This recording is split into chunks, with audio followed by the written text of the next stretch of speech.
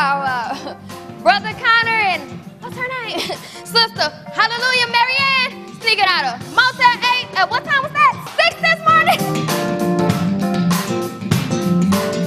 Because everybody been coming to my house lying. It's cold outside. It ain't lying season. Yes, it is lying season. This world must really be coming to an end. Well, Because you is lying. Who lying? You are. Whatever. Club last night, girl. And why was he setting up appointments with three women to be baptized in his bathtub? Yes. Girl, what? Yes. That way. So I just thought you might need to pray for her. Mm, mm, In what? You know what I mean, Mother Lefter. You know what I mean, girl. Hey. No, I don't know what you mean. I don't know what you mean. But Mother Lefter, listen. I'm just what you would call a concerned Christian, right?